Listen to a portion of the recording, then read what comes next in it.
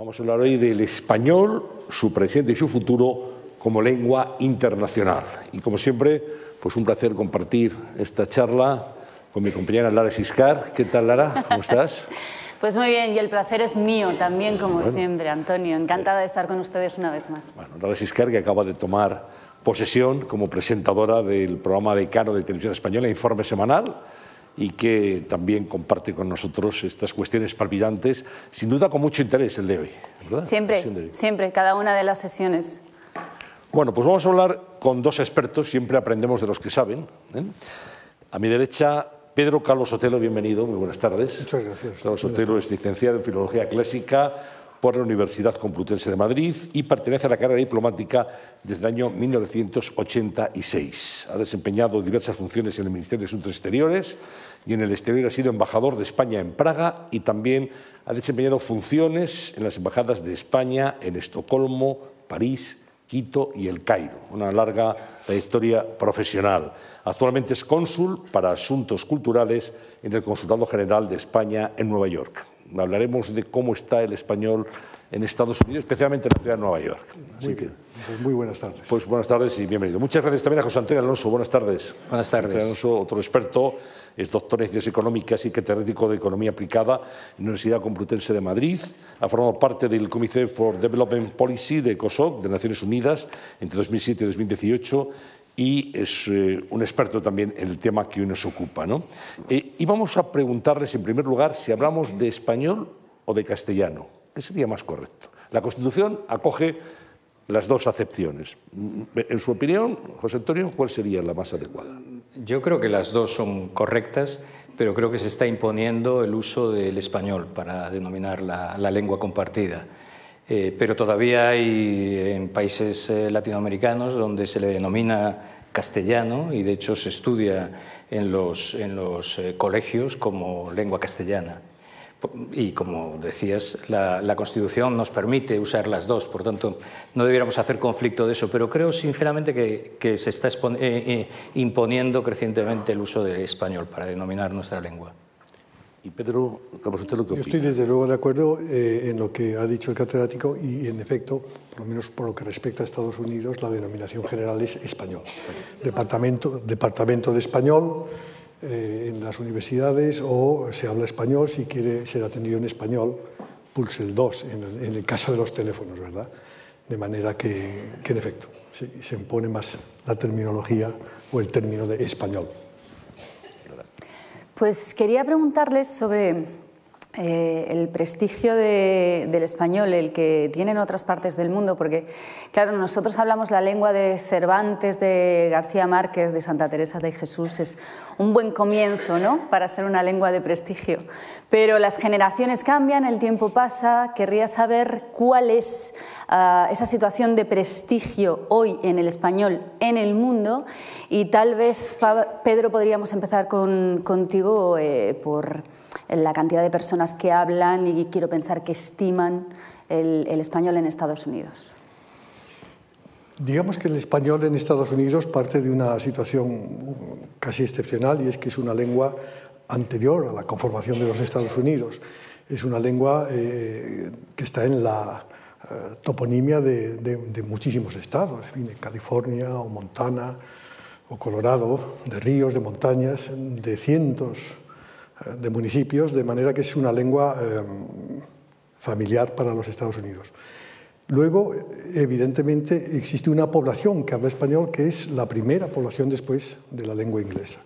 De manera que hay eh, un porcentaje de, de un 12%, si no recuerdo mal, que habla, o no, está casi, va a llegar al 20% en el 2050, al 30% en el 2050, y unos 60 millones de hispanohablantes. Y por último, es la primera lengua en cualquier nivel educativo de, de los Estados Unidos, sea en primaria, en secundaria o en el mundo universitario y además evidentemente está en los medios de comunicación también. De manera que la situación del español en el primer país del mundo ante la primera lengua del mundo es excepcionalmente bueno. José Antonio. Bueno, yo, yo eh, no mirando a Estados Unidos, sino mirando a, al mundo en general, ¿no? ¿Cómo está el español? Yo, yo creo que hay eh, luces y sombras. ¿no? Hay luces eh, manifiestas, 600 millones de hablantes, es la segunda lengua por el número de, hablantes nativos que tienen dominio nativo sobre la lengua y la cuarta lengua por potenciales usuarios del idioma. ¿Quién estaría delante, aparte del inglés? ¿Chino quizá? están por nativos el chino pero por, por eh, eh, cuando hablamos de potenciales usuarios está el inglés y el chino está por delante del español, así como el hindi. Entonces, eh, es una lengua con, con, gran potencial por este número de hablantes y por su presencia en lo que es la potencia económica, del, como acaba de señalar Pedro. ¿no? Es decir, que es, es, en estos momentos Estados Unidos es el segundo país por número de hablantes de español de todo el mundo. ¿no? Por tanto, está ahí presente. Es una lengua además que mm, ha generado toda una industria cultural muy potente y muy conectada con la juventud, sobre, todo en, las áreas de, audiovisuales y musical, con, una capacidad de incidencia muy, muy notable. Y es una lengua de organismos internacionales, que tampoco son muchas las que lo son.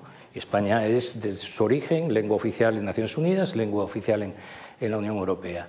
Ahora bien, si estas son las luces, y hay algunas otras que no quiero extenderme, pero también hay sombras. Eh, las sombras que yo percibo son, primero, ese dominio del español se ha basado en buena medida en la expansión demográfica, en el, empuje demográfico, fundamentalmente de los países latinoamericanos, porque no nos engañemos, en estos momentos el español es una lengua americana.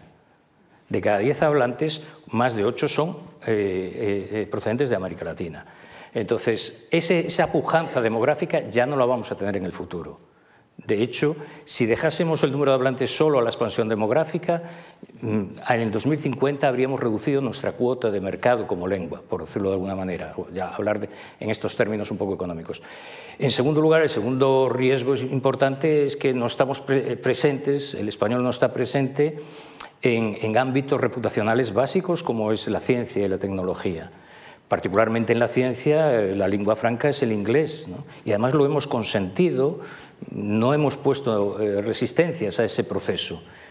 Y después esta presencia del español en Estados Unidos y también en Europa está muy vinculada a la migración. En buena medida el español es una lengua de migración en Estados Unidos. Y todos sabemos, por la experiencia histórica, que las segundas y terceras generaciones pierden rápidamente el uso de su idioma originario y pasan a utilizar el idioma vehicular del país que los acoge. Eh, y en, el mejor de los casos reservan la lengua de herencia para usos familiares o muy acotados. Entonces, si no hacemos nada, esos 40 millones que hablan español, de los 60 eh, millones de hispanos, los 42 millones que todavía pueden expresarse español, dentro de una década o de dos décadas serán muchos menos. Entonces, esto es un riesgo. La pregunta es clara, ¿qué es lo que tenemos que hacer? Si no hacemos nada, ocurrirá eso. ¿Qué podemos hacer para evitarlo o para mitigarlo? déjame que añada una, cuestión que nos dice mucho de qué hacer. Eh, de cada 10 hablantes de español, 8 son hablantes nativos más de 8 en realidad. El 86% son hablantes nativos. Solo hay un 14% de gente que viniendo de otras lenguas aprendieron el español como segunda lengua internacional. Si nos vamos al inglés o al francés, la proporción es que el 30% son hablantes nativos y el 70% lo han adquirido. Es decir, ¿cuál es nuestra gran asignatura por aprobar? El atraer hablantes de otro idioma a aprender el español e integrarnos, eh, penetrar en los sistemas educativos de los países de habla distinta a la española para convertir el, español en una lengua que se aprenda. Y ahí el esfuerzo que hemos hecho todavía es muy pequeño en, en todos los ámbitos. Y además tenemos una estructura institucional para hacer eso enormemente fragmentada y muy poco cohesionada. Entonces, mm, yo diría, ¿qué hay que hacer? Si tuviese que decir tres cosas, diría, primero, definir una estrategia como política de Estado respecto al español, una estrategia de, consolidar su presencia internacional. Segundo, poner medios y recursos. Y tercero, reconfigurar el ecosistema institucional que se dedica a impulsar el idioma para hacerlo más funcional.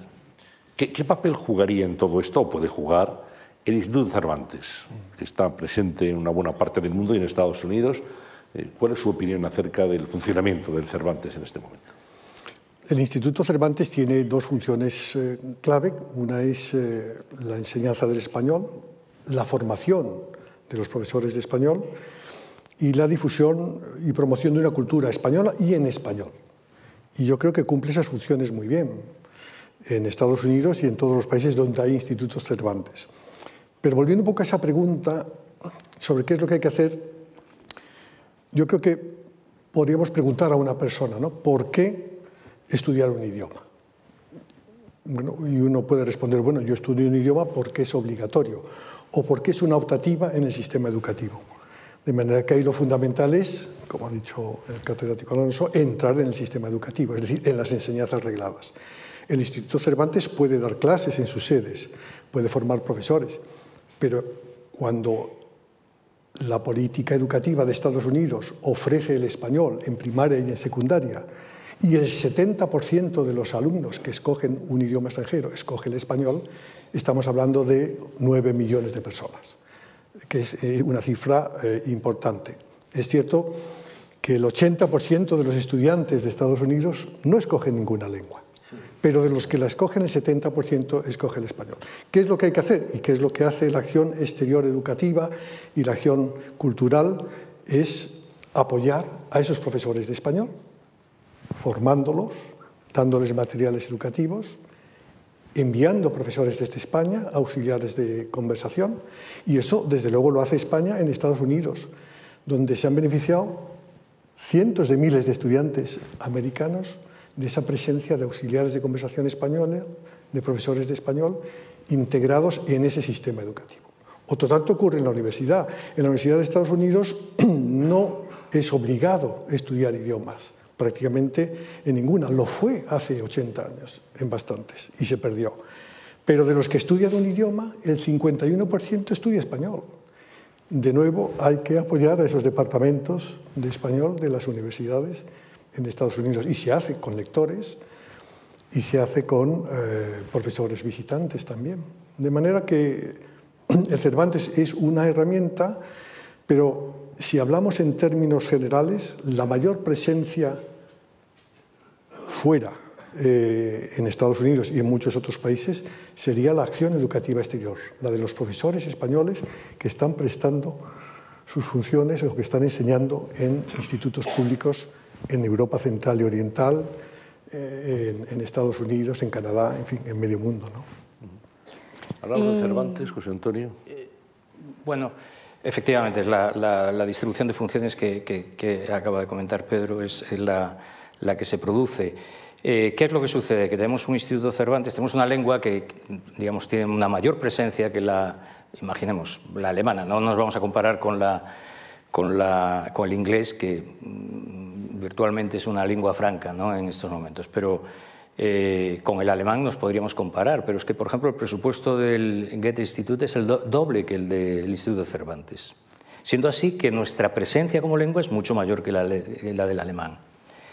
Y después, efectivamente, el, Instituto Cervantes, que está vinculado al Ministerio de Asuntos Exteriores, hace esa labor de difusión de la cultura y también de preparación, de enseñanza de la español, sobre todo en eh, enseñanza no reglada, no, vinculada a los sistemas educativos y de preparación de profesores. ¿Quién hace la eh, formación reglada? Fundamentalmente el Ministerio de Educación. Pero el Ministerio de Educación, para esta actividad, quien, quien está responsabilizado de ello es una subdirección general, con muy pocos medios y con muy pocas personas para dedicar. Es decir, no, no se corresponde la estructura institucional con el, valor del activo que tenemos en nuestras manos. Esta es mi, llamada, un poco por eso decía de las sombras. ¿no? Es decir, tenemos un, como dicen los norteamericanos, un billete en la acera y no lo cogemos, ¿no? no ponemos los medios para, digamos, sacar todo el partido a el, impresionante valor que tiene un idioma de estas características, con, un número de hablantes como el que hay y con una presencia en, ámbitos tan importantes como las organizaciones internacionales, Estados Unidos o, en fin, o, eh, el ámbito cultural, ¿no? porque efectivamente es una cultura muy viva. Entonces, creo que ahí hay un problema de, de medios y de organización, ¿no? porque en ocasiones el Instituto Cervantes opera simultáneamente en paralelo a, la de las, a eh, digamos, a las agregadurías o las consejerías de educación con criterios no siempre bien eh, hermanados, ¿no? bien articulados. Y eso también es un coste de eficiencia para, para una promoción del español. España tomó una, una opción que yo creo que fue inteligente, quizá urgida por la necesidad, hizo de la necesidad virtud, que parece que se convirtió en una, en una frase que, que tuvo eco, eco político. ¿no? Y es que frente al alemán o al francés, ¿no? que, que, crearon escuelas o colegios eh, de, con la lengua propia, ¿no? los liceos, el italiano también, España tiene pocos colegios españoles, tiene muy pocos. Entonces, penetra en el sistema educativo a través de las secciones de español. Pero claro, si queremos hacer esa vía que es eh, inteligente para un país que no tiene muchos recursos para ponerse a esta tarea, eh, debiera, digamos, hacerlo de una manera bastante masiva para penetrar, preparando muchos profesores y haciéndose presente, entre otras cosas para responder a algo que, que Pedro decía, y es que el español tiene un gran atractivo entre los estudiantes, tanto en Estados Unidos como en Europa. En Europa, eh, si nos hacemos caso Euro, Eurobarómetro, es el segundo idioma preferido por los estudiantes para, para aprender. Pero claro, si no, si no, tienen profesores preparados, si no hay ese, esa oferta en su colegio, no lo estudian, indudablemente. Entonces ahí hay una tarea que creo importante. Um, además del de, eh, prestigio cultural, social, querría hablar también de la implantación del español en el mundo tecnológico y digital. Uh, que en este caso no va solo detrás del inglés, sino que si mis datos no son correctos, es la tercera lengua más usada en Internet, la tercera porque va después del inglés también del chino.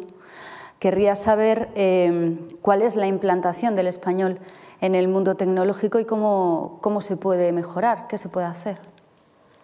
¿Contesto yo? Por ejemplo. no, bueno, efectivamente, el español está bien, posicionado, sobre todo en, este ámbito, si estudiamos, por ejemplo, la red, está bien posicionado en el número de internautas. ¿no? Efectivamente, es el idioma tercero en número de internautas.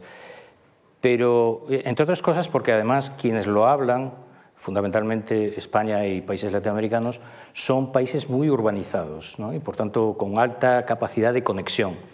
Pero, sin embargo, cuando vemos eh, la traducción de estas conexiones en, la elaboración de contenidos, por ejemplo, o en comercio digital, retrocedemos en, esa posición.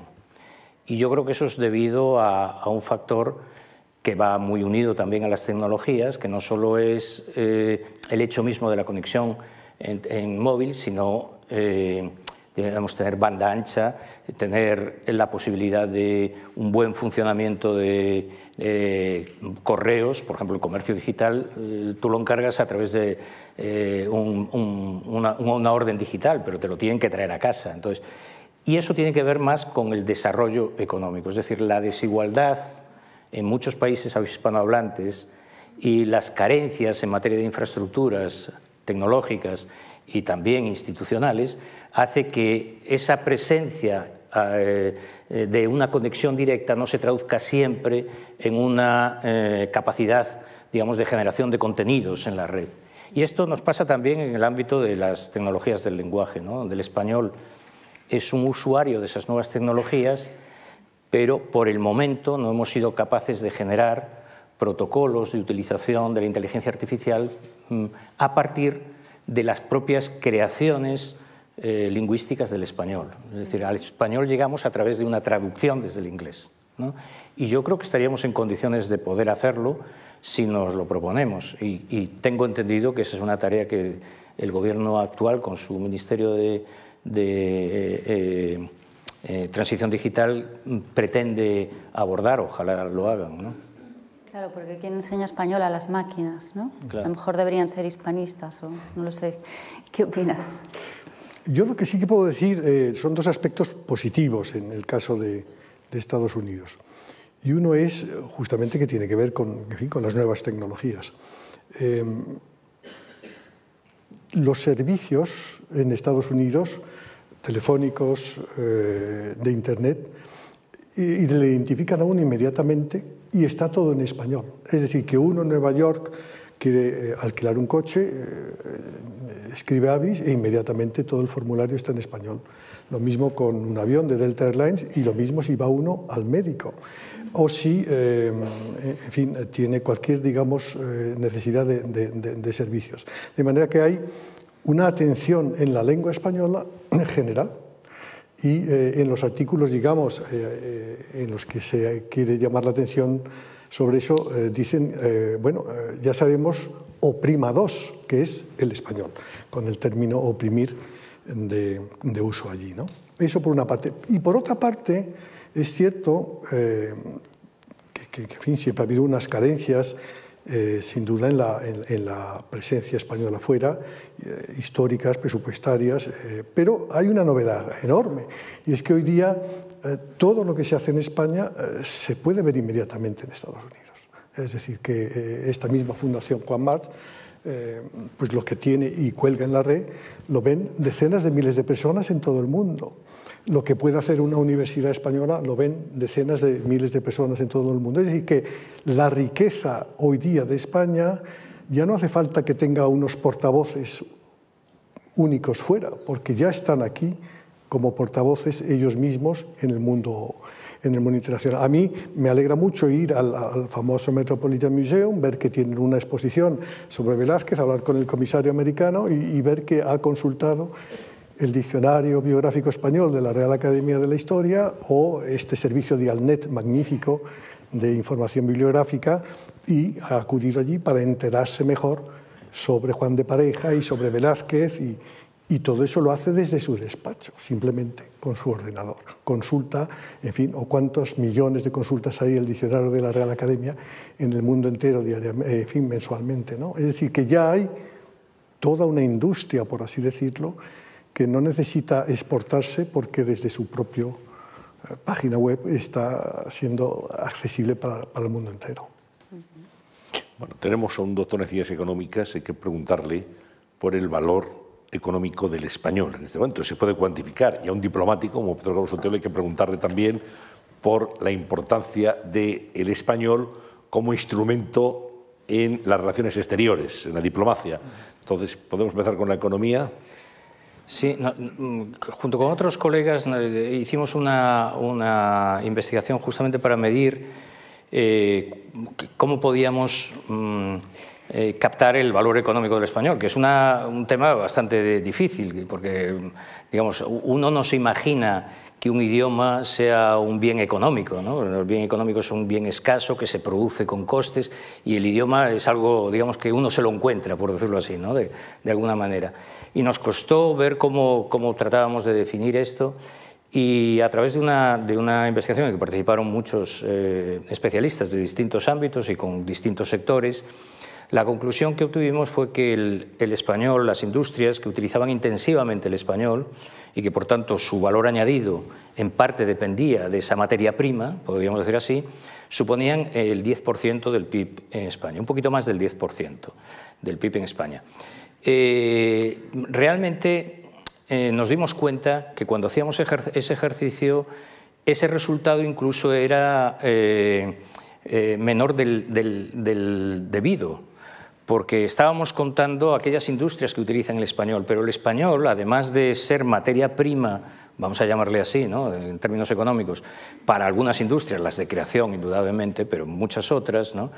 Eh, además es un facilitador de cosas, es un facilitador de transacciones. Por ejemplo, la empresa española que no tenía experiencia internacional en los años 80 y 90, cuando empezó a internacionalizarse, por donde empezó fue por, los mercados hispanoamericanos.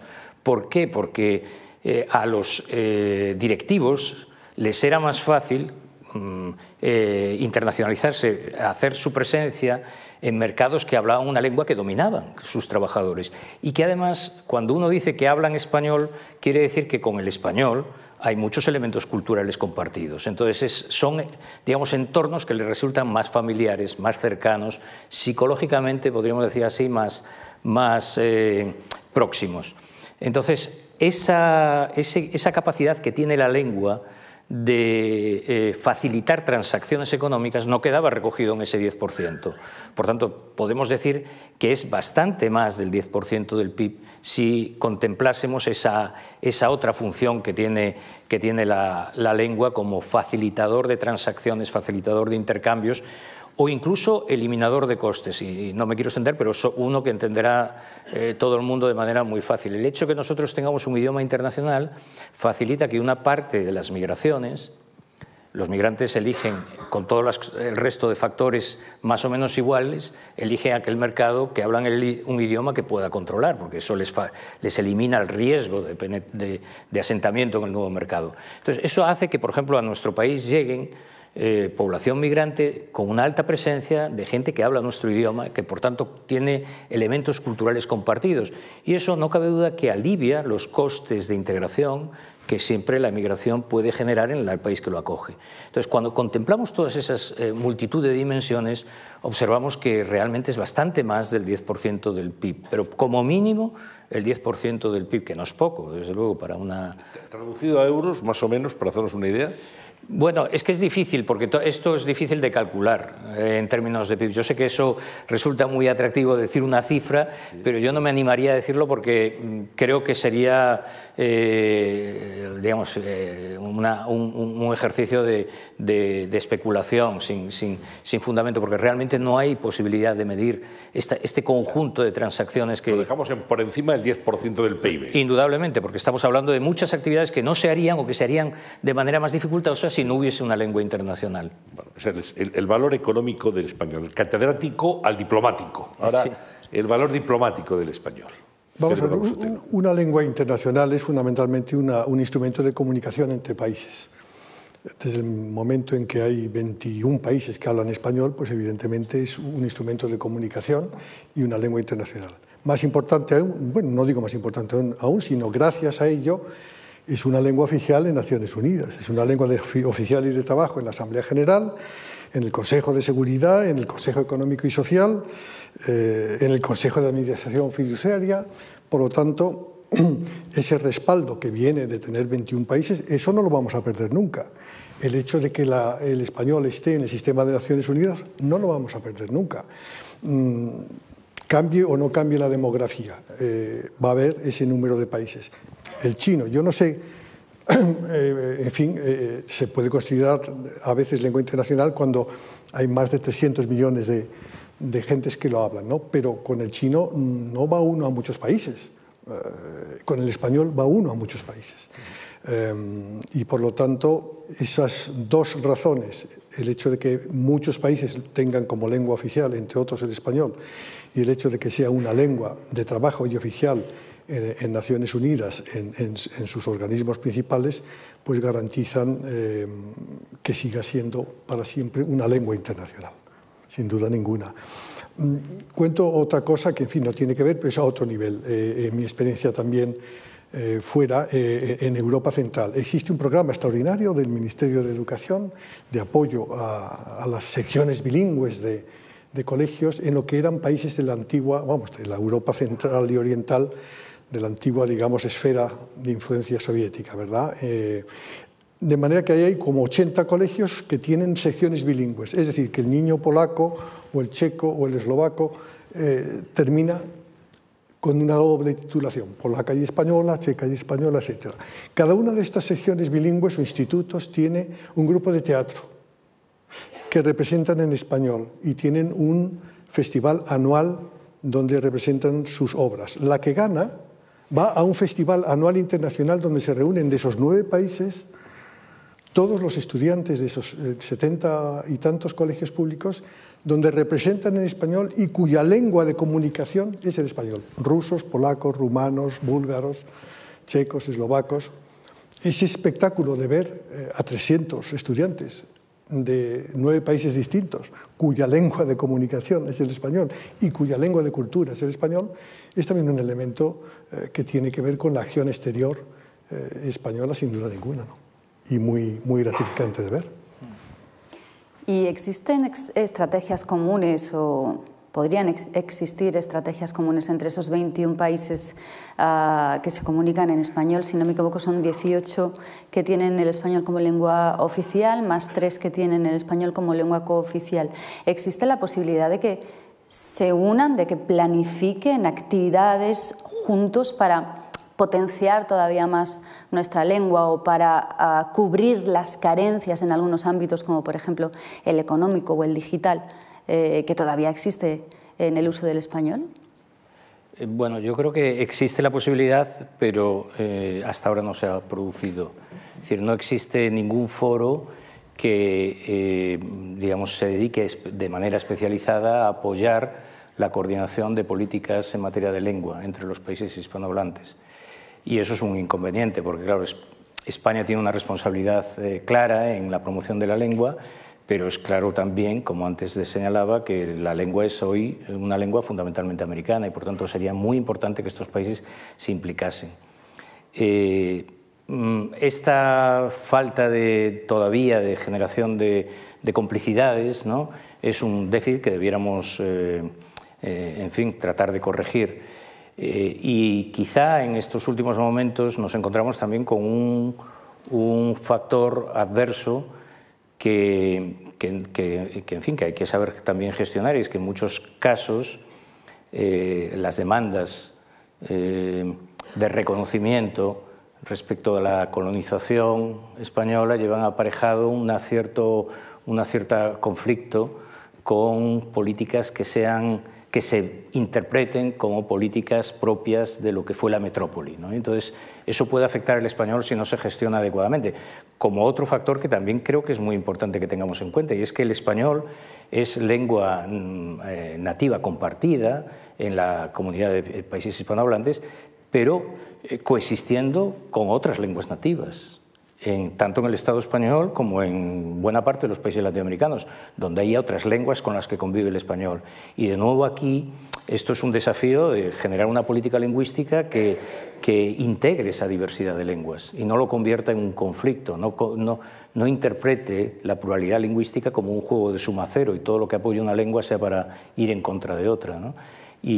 Lo sabemos por, España, ¿no? que a veces esto es complicado, de, gestionar. O sea que creo que es importante no solo tener una política de Estado, sino una política de Estado inteligente que sume a los países hispanohablantes del otro lado del Atlántico y que además sepa construir una política, digamos, que ponga en valor eh, la pluralidad lingüística.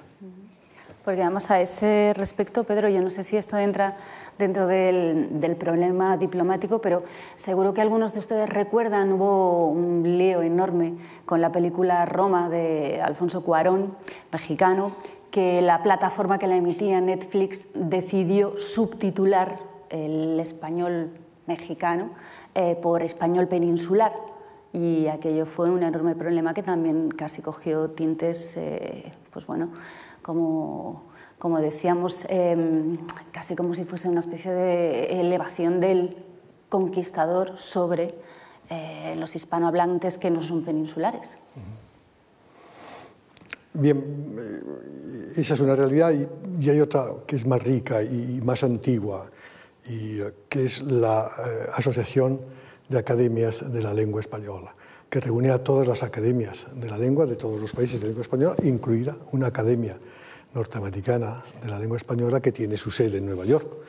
Em, el español es una lengua eh, con una gran unidad y con eh, una política panhispánica extraordinariamente exitosa, hecha por la Real Academia en todos sus aspectos, de, lexicografía, de gramática, de sintaxis.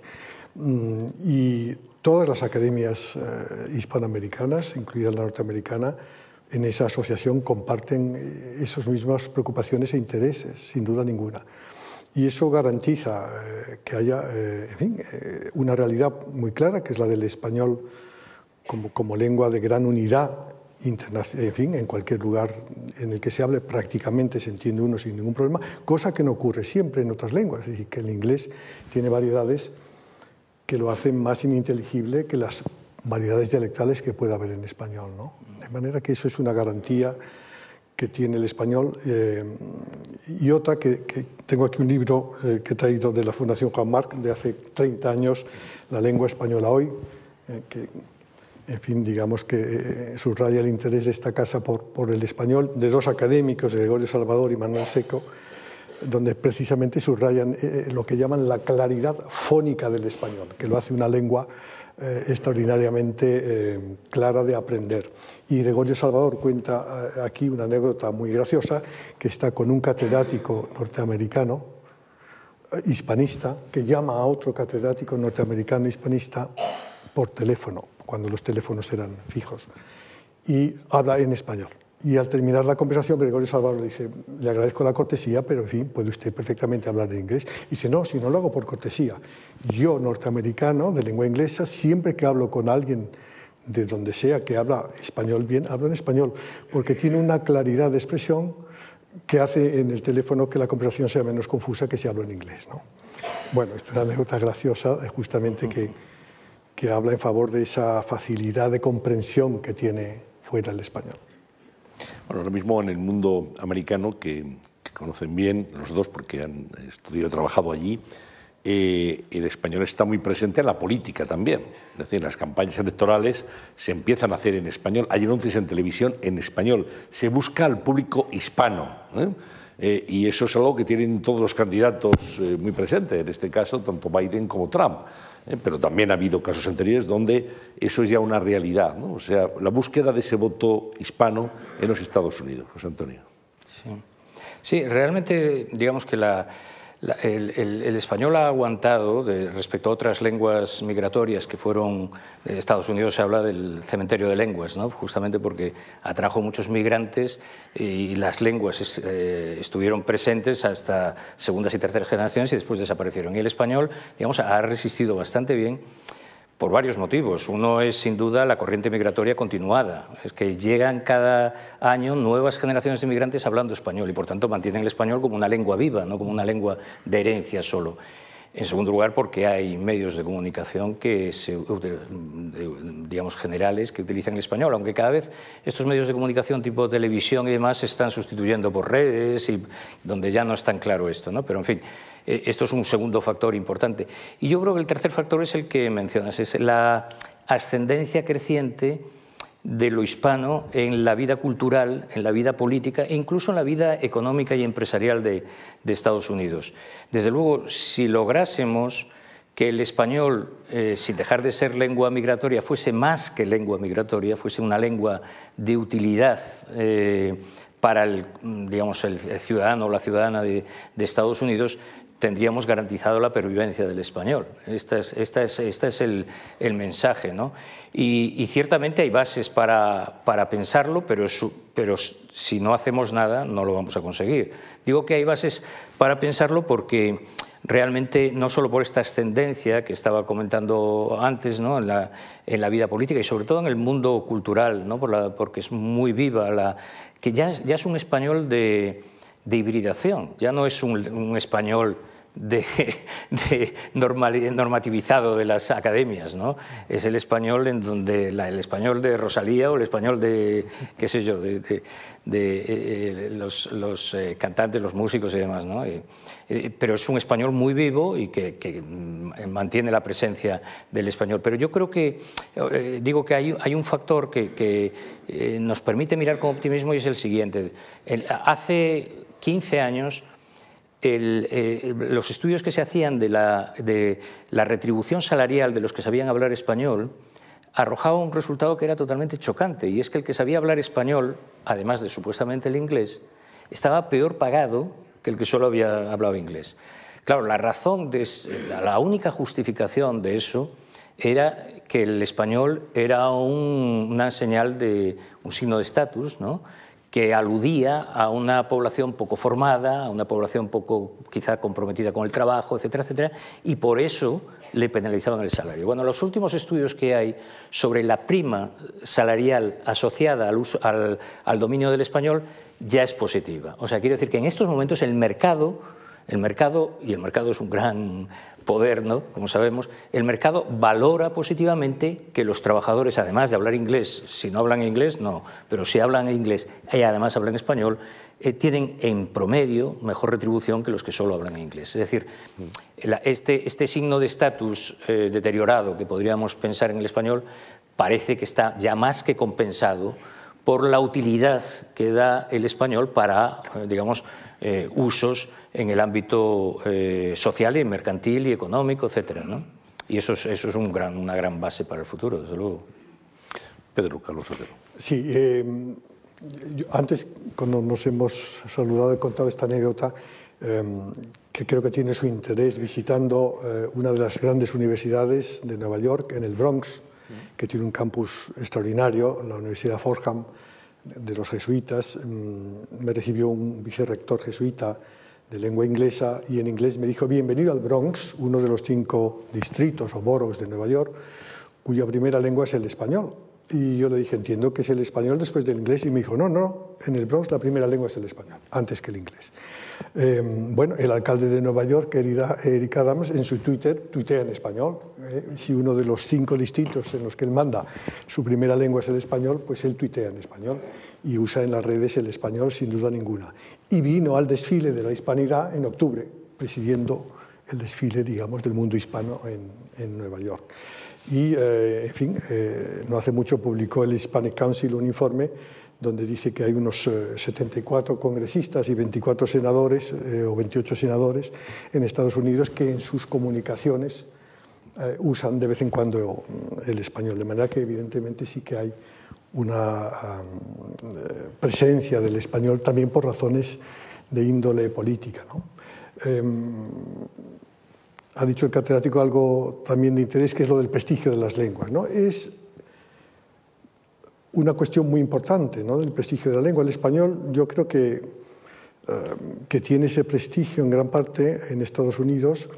Eh, hay un dato curioso. Eh, es el segundo destino en el mundo para los estudiantes universitarios de Estados Unidos, las universidades españolas. El segundo destino del mundo. Hemos superado a Italia y estamos por debajo del Reino Unido. De manera que, bueno, vienen aquí, entre otras razones, para mejorar o para aprender su, español. ¿no? Pero también se da a veces algo eh, mixto.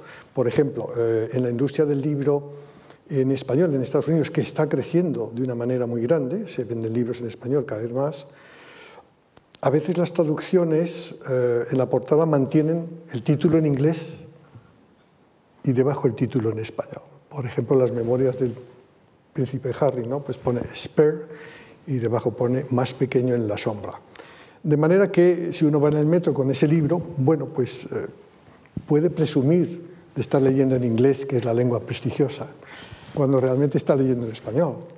En fin, que se dan también un poco esos juegos de prestigios en, los idiomas. Evidentemente, eh, como lo ha dicho eh, el profesor, hay una tradición muy grande en Estados Unidos y que es invencible y es eh, que las generaciones se integran en la lengua del país y la tercera generación deja de hablar el idioma que sea, en este caso eh, el español. Y esa es una fuerza grande. ¿no? Ah, quería comentar con ustedes, el jueves pasado tuve el enorme honor de, entregar los premios a, los mejores investigadores del país y con ellos comentaba lo difícil que les era hacer carrera investigadora, hacer una buena carrera en la ciencia a nivel internacional, incluso también nacional, si publicaban en español, que se veían casi obligados a publicar en inglés. Unos lo hacían con más o menos gusto, pero al fin y al cabo tenían que publicar en inglés. El mundo de la ciencia parece que es está encorsentado en el, en el inglés. Eh, ¿Esto se puede revertir? ¿Se puede hacer algo? ¿Lo podemos evitar? Yo creo que sí, podemos hacer eh, algo para que no se siga profundizando en esa tendencia, porque además no es una tendencia buena para la ciencia. Realmente hemos dado, eh, digamos, hemos hecho un esfuerzo en España y en otros países por asociar eh, incentivos a los investigadores eh, con publicaciones de alto impacto. ¿no? Eh, pero resulta que las eh, instituciones que se encargan de medir el impacto son empresas privadas y todas ellas anglosajonas. Y la mayor parte de las publicaciones científicas de alta difusión, de nuevo, son empresas privadas y anglosajonas. Con lo cual, claro, el investigador joven que quiere hacer una carrera brillante, si quiere que se le reconozca el mérito investigador, que depende del impacto, tiene que publicar en esas revistas que son las que le garantizan ese impacto. Y esas son en inglés.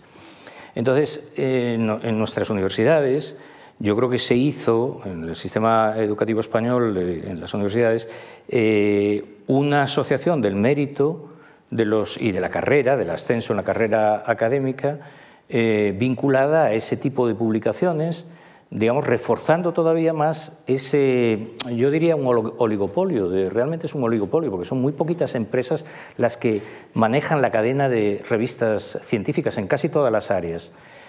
Eh, y no hemos hecho ningún, no hemos dado ningún paso para dos cosas que son importantes. Primero, tener esas redes en español, ¿no? Eh, no, necesariamente pensando que vamos a sustituir, a sustituir, el inglés, sino para tener otros mecanismos alternativos, complementarios al inglés, eh, digamos, pero diferentes para evaluar el mérito investigador. Y después una segunda línea que es empezar a valorar también eh, los sistemas de publicación de producción científica abierta y que haya la posibilidad de que existan sistemas de, codificación y de registro del impacto asociados a esos sistemas abiertos, que harían la ciencia más democrática, por una parte, menos dependiente de un grupo reducido de empresas privadas, y por otra parte permitirían que los científicos accediesen a esas plataformas cada uno desde sus respectivos idiomas. Y por tanto en el caso del español que, somos como, como antes se señalaba un número amplio de países 21 países pues eh, nos permitiría a todos los científicos de esos países tener una, capacidad de impacto desde, nuestra propia lengua. Entonces yo creo que sí se puede hacer, se está haciendo. En el Consejo Superior de Investigaciones Científicas, se están trabajando muy intensamente en, esta, en estas líneas, mm, no es fácil, no es fácil porque, repito, llegamos tarde después de haber... Eh, eh, impulsado o favorecido esa tendencia hacia la oligopolización del mercado de la difusión de la producción científica. Sí, em, es cierto que en, la ciencia, en efecto, pues se produce fundamentalmente, se escribe en, inglés. Pero también hay otro hecho que yo creo que habla bien de, Europa y de su diversidad lingüística. Em, y yo, en, fin, modestamente, en las conversaciones con con las gentes del mundo universitario allí, pues me permito señalarlo. Digo, si uno tiene interés en, un, en una materia, eh, si yo tengo interés en un libro sobre la guerra de secesión, eh, lo compro en inglés y veo que la bibliografía está en inglés, pues me parece excelente. Pero si a mí me interesa eh, saber qué ocurre en Ucrania o qué ocurre en, en, en Centro Europa, o, yo cojo un libro en inglés, voy a la bibliografía y si solo está en inglés la cierro. Cierro el libro, no me interesa, porque tengo al otro libro en inglés que tiene además bibliografía en francés o en alemán o en ruso. Y digo, bueno, este señor o señora se ha enterado bien de lo que está tratando. ¿no? Es decir, hay también ahora una preocupación en Estados Unidos por un monolingüismo académico em, que se ha ido, digamos, imponiendo mm, y hay voces que dicen estamos rompiendo una tradición antigua en la que eh, se dominaban varias lenguas y ahora prácticamente solo mm, conocemos el inglés. Y el inglés, en efecto, pues es una lengua eh, extraordinariamente rica, pero en ciertas materias eh, o lee uno otras lenguas o está uno por detrás, sin duda ninguna. Fíjate que, eh, por, complementando, esto pasa también con, con, la lengua en los organismos internacionales, ¿no? que, que, tú antes señalabas que, que es un activo que ya tenemos, el español es lengua oficial. Eh, como antes se señaló, yo estuve casi 15 años en el Committee for Development Policy, que es un organismo digamos, de, trabajo para preparar las reuniones de, COSOC. Mm, digamos, a pesar de que hay seis lenguas ¿no? oficiales, realmente se habla en inglés, porque se hace muy difícil y muy enojoso pedir, no, yo quiero hablar en español, ¿no? o yo quiero hablar en francés. Y realmente los únicos que llevaban esa política activamente eran los franceses, que eran los únicos que decían, yo hablo en francés, a mí me ponen un traductor, pero yo hablo en francés.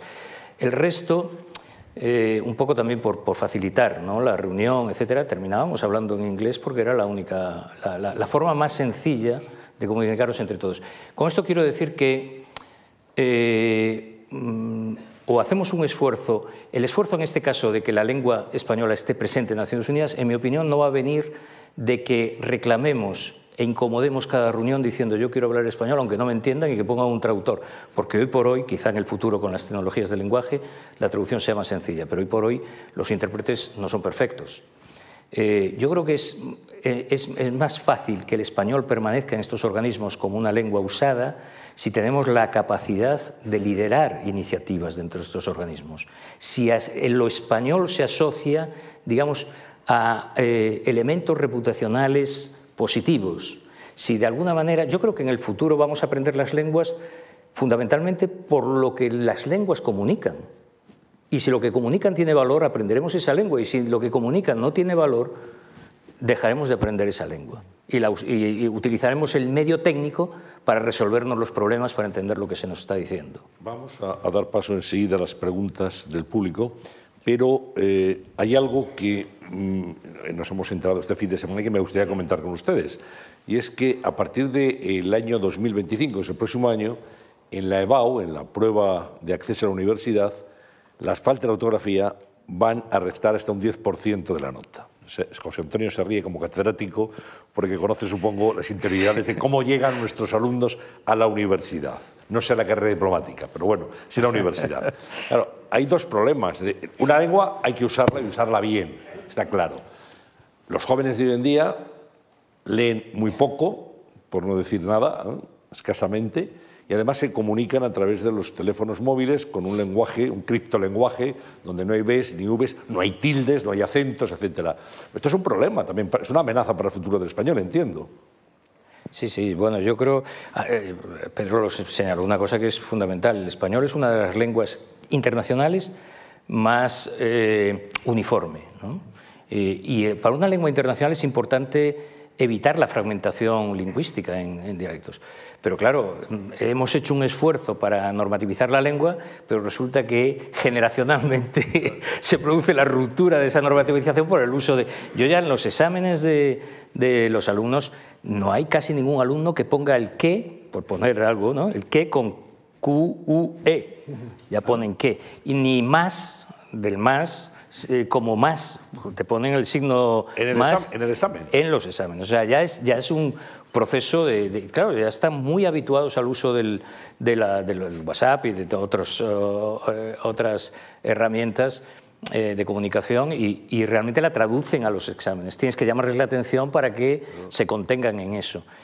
Y tampoco es fácil, ya se puede imaginar eh, la audiencia, que no es fácil suspender a un alumno porque te puso una Q en lugar de QUE, ¿no? porque no es una... Eh, y entonces muchas veces lo dejas pasar, dices, bueno, vale, el contenido está más o menos bien, no lo voy a suspender por esto.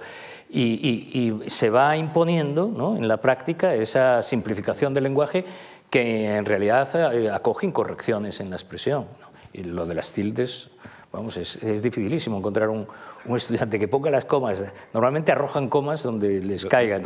Y después las tildes, ni una. Las esparcen. Las esparcen y, y, las tildes, ni una, vamos.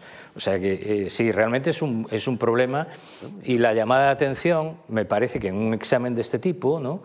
A mí me parece que es un ensayo adecuado. hablamos, de, universitarios. Claro, claro, claro, Me parece que en algún momento se les debe dar señales de que eso no es lo adecuado ¿no? y que deben de tomarse preocupación por expresarse correctamente en un castellano o un español correcto ¿no? y, completo.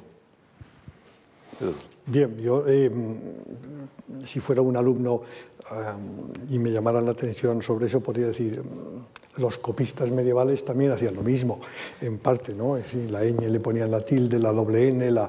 es decir, que cuando uno tiene que escribir mucho, eh, a veces inventa recursos para abreviar. No estoy defendiendo eso, eh, estoy defendiéndome como alumno, si me lo dijeran. Y es cierto, algo, digamos, eh, no digo peor, pero mm, que ahora mismo se admite en el correo electrónico por la prisa del teclado, eh, mandar textos mm, llenos de faltas, no de faltas de ortografía de ha dicho y el A sin la H, sino, bueno, el ha dicho con, con, con, cuatro Hs porque ha apretado y no se revisa el texto. Esto, en fin, es, es habitualísimo, ¿no? Eh, sí, sí. Recibir correos de ese tipo de, de, en fin, de todo tipo de procedencias, ¿no? Pero bueno, en efecto, eh, es importante cuidar. Y como un adolescente hoy día le mandes un mensaje de WhatsApp con las tildes, no lo entiende. Dice, no hace falta, claro que hace falta. Pero bueno. Algunos escribimos así todavía, ya somos de la vieja escuela. Lara, vamos con las preguntas que han llegado hasta la Fundación Juan March para esta sesión de la cuestión palpitante. Sí, además tenemos bastantes preguntas. Uh, vamos con la primera de ellas, uh, que la envió por correo electrónico Concha Hidalgo. Ella pregunta en qué medida la entrada masiva del inglés desde el periodismo a la publicidad y el ámbito empresarial está afectando a lo que llamamos español. Y aquí es verdad, Antonio, que nosotros incluso no a veces eh, hablamos de aquello del streaming, el online, sí. el tal. Sí, sí. pues en qué medida afecta al español, pregunta Concha Hidalgo. ¿Quién quiere responder primero? ¿Quieres responder tú? No, yo, yo creo que efectivamente hay términos que inevitablemente los incorporamos la lengua es, una, un organismo vivo, en definitiva, y, es normal que eh, vayan surgiendo nuevas, palabras eh, con nuevos usos o con nuevas eh, tecnologías y demás. En ocasiones lo que sucede es que mm, se utilizan un término cuando existe otro en, español que podría tener la misma funcionalidad, ¿no? y eso es, creo que es una lástima que se produzca. Y efectivamente el español, a través de las, de las redes, si se quiere, se, está, eh, se produce ese, ese, ese, proceso muy rápido de transformación.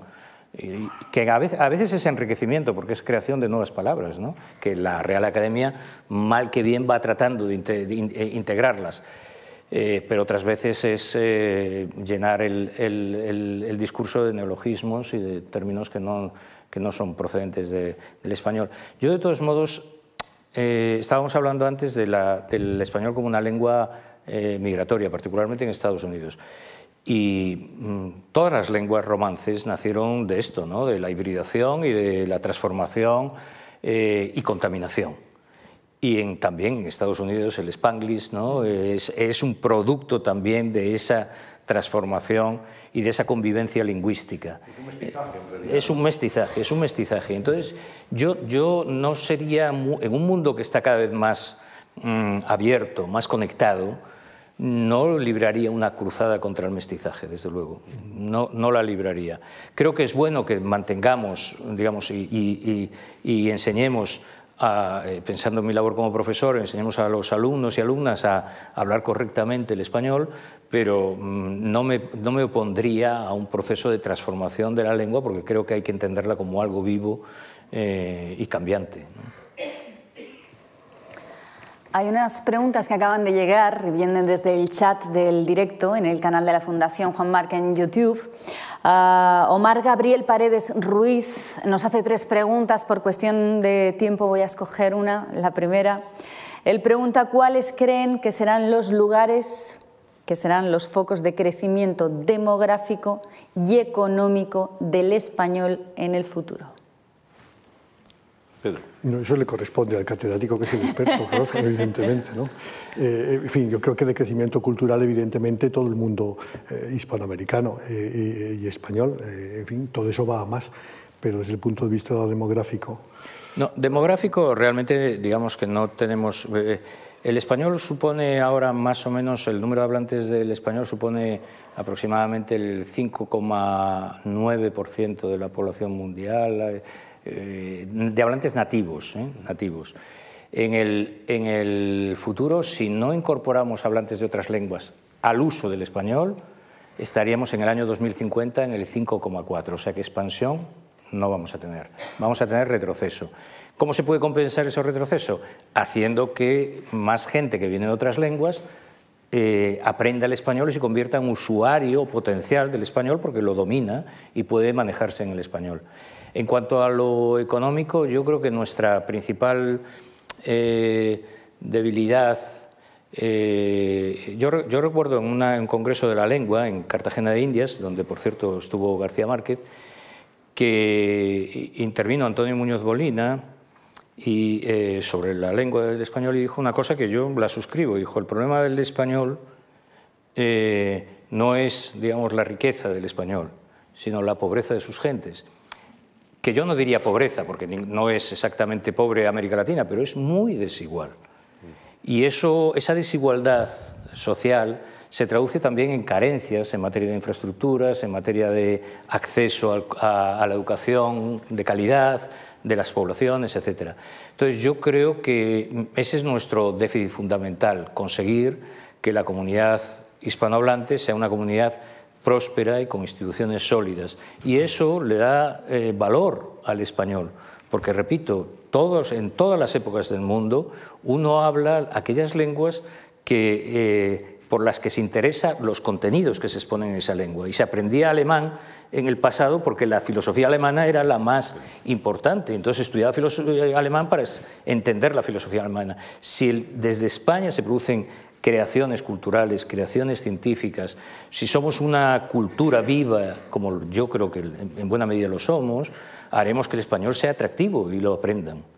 Eh, creo que esa es la forma de valorar un idioma en, un mundo que está, digamos, donde hay una competencia lingüística creciente, porque no olvidemos que el español está compitiendo con el chino, que no tiene pujanza demográfica tampoco, pero tiene un eh, volumen de hablantes impresionante, con el inglés, que es lengua franca, y con el francés, que tiene toda la administración detrás del idioma. Y nosotros no hemos construido una administración detrás del idioma. No digo que no haya esfuerzos, pero son esfuerzos muy dispersos, yo creo que mal dimensionados, este es mi, juicio, puedo estar equivocado, y no quiero ser muy crítico, porque yo sé que es una tarea difícil, pero creo que es así, y creo que en, muchas ocasiones no se ha tomado en cuenta que estamos hablando de un valor colectivo, de un valor que no hay nada más que, eh, como bien público que el idioma, porque nos pertenece a todos, no es de nadie el idioma y es de todos. Entonces, es, lo propio de una política de Estado. Entonces, esa política de Estado yo la he hecho en falta, sinceramente, sobre, sobre el idioma. Y después una última pregunta que, eh, resumo, habla sobre la relación del, español con las lenguas cooficiales españolas, algo que a lo mejor también podríamos relacionar con bueno, esta legislatura en el Congreso, ¿no? que se puede hablar también cualquiera de las lenguas cooficiales españolas, siendo subtitulado o escuchando traducción simultánea. ¿Qué opinan? Desde luego, el, Instituto Cervantes fuera ofrece eh, educación, enseñanza en todas las lenguas cooficiales Evidentemente, la demanda mayor es, eh, es, la, del, es la, del, español, pero también hay eh, clases eh, en, en, gallego, en, en euskera y, y en, catalán. De manera que, bueno, y no solamente eso, en Estados Unidos de luego hay departamentos donde también se enseña, sobre todo, además del español, también el, el, catalán. ¿no? yo me gustaría terminar con una cita. se hablaba, al hablar del español, del reino de Cervantes, del español en el mundo. Y traigo una cita muy bonita de, Cervantes que dice así, mira que te hablo español, que es la lengua que tú sabes, cuya conformidad suele engendrar amistad entre los que no se conocen. Es del Persiles y Sigismunda, pero me parece que es una bonita cita de promoción del español, ¿no? que genera amistad entre los que no se conocen. Pues muy apropiada para poner el punto final a este tiempo de la cuestión palpitante en la Fundación Juan March. Realmente interesante, Lara, ¿eh? lo que nos han contado. Desde luego, absolutamente todo. Yo me quedo con que, bueno, el español no solo tiene un magnífico pasado, sino que tiene un espléndido futuro. Yo creo que iremos a más, ¿no? También en ciencia, también en digitalización, también en todo lo que nos queda pendiente, sobre todo porque ya somos conscientes. Ese es el reto. Antes a lo mejor no lo éramos. Ese es el reto. Lara Siscar, muchísimas gracias. Gracias a ti, Antonio. Eh, por acompañarnos hoy, por estar también en esta sesión que hemos compartido con Pedro Carlos Sotelo. Muchísimas gracias. Muchas gracias. Un placer. Y con José Antonio Alonso. Eh, se han complementado bien el mundo del conocimiento económico, el catedrático, con el diplomático, para hacernos una panorámica bien interesante de cómo está el español y cuál es su presente y, sobre todo, como decía Lara, cuáles son sus retos de futuro. A todos ustedes, muchísimas gracias por su atención y hasta una próxima cuestión palpitante aquí en la Fundación Juan March. Buenas tardes.